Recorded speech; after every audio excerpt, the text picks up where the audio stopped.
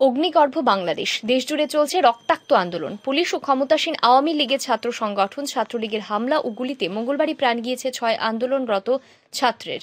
বুধবার থেকে বন্ধ করে দিতে হয়েছে বাংলাদেশের সকল শিক্ষা প্রতিষ্ঠান। এই অবস্থায় এদিন জাতির উদ্দেশ্যে ভাষণ দিলেন বাংলাদেশের প্রধানমন্ত্রী শেখ হাসিনা।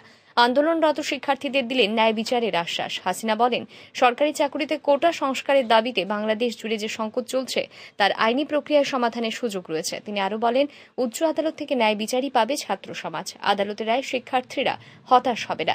কোটা নিয়ে সংঘর্ষ ও হতাহতের ঘটনায় বিচার বিভাগীয় তদন্ত হবে বলে প্রতিশ্রুতি দেন শেখ হাসিনা। প্রধানমন্ত্রীর সরকারি বাসভবন, গণভবন থেকেই এই ভাষণ দেন তিনি। সাড়ে সাত মিনিটের এই ভাষণে বাংলাদেশি প্রধানমন্ত্রী আরও বলেন, সরকার হাইকোর্টের রায়ের বিরুদ্ধে সর্বোচ্চ আদালতে আপিল করেছে।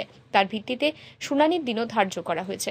শিক্ষার্থীদের বক্তব্য জানানোর সুযোগ করে দিয়েছে আদালত। এই আইনি প্রক্রিয়ার মাধ্যমে সমস্যা সমাধানের সুযোগ রয়েছে।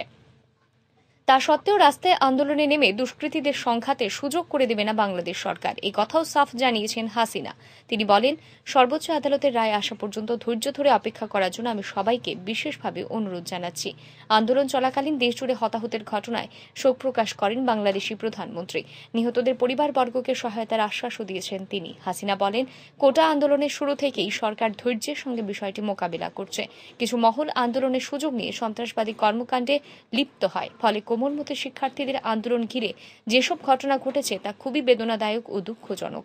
অহেতুক কতগুলো মূল্যবান জীবন ছড়ে গেল। আপনজন হারানোর বেদনা যে কত কষ্টের তা আমার থেকে আর কে বেশি জানে? কিছু মহল এই আন্দোলনের সুযোগটা নিয়ে অনাকাঙ্ক্ষিত উচ্চাবিলাস চরিতার্থ করার সুযোগ নিয়ে সন্ত্রাসী কর্মকাণ্ডে লিপ্ত হয়। এর ফলে এই কোমলমতি শিক্ষার্থীদের আন্দোলনকে ঘিরে যে সকল ঘটনা ঘটেছে তা খুবই বেদনাদায়ক ও দুঃখজনক। অহেতুক কতগুলি মূল্যবান জীবন ঝরে গেল। আপনজন হারাবার বেদনা যে কত কষ্টের তা আমার থেকে আর কে বেশি জানে? বিশ্বাস করি, যারা কোটা সংস্কার আন্দোলনে জড়িত, তাদের সাথে এই সকল সন্ত্রাসীদের কোনো সম্পর্ক নেই। বরং সন্ত্রাসীরা এদের মধ্যে ঢুকে সংঘাত ও নৈরাজ্যকর পরিস্থিতির সৃষ্টি করছে। এই ধরনের ঘটনার সঙ্গে যারা জড়িত তাদের চিহ্নিত করে উপযুক্ত শাস্তির ব্যবস্থা করা হবে। যারা হত্যাকাণ্ডের শিকার হয়েছে, তাদের পরিবারের জন্য জীবন জীবিকা নির্বাহের ক্ষেত্রে যে সহযোগিতা দরকার, তা আমি করব। সরকার হাইকোর্টের রায়ের বিরুদ্ধে সর্বোচ্চ আদালতে আপিল করেছে। আপিল আদালতে শুনানির দিন ধার্য করা হয়েছে। আদালত শিক্ষার্থীদের কোনো বক্তব্য থাকলে তা শোনার সুযোগ সৃষ্টি করে দিয়েছে। এই আইনি প্রক্রিয়ার মাধ্যমে সমস্যা সমাধানের সুযোগ রয়েছে।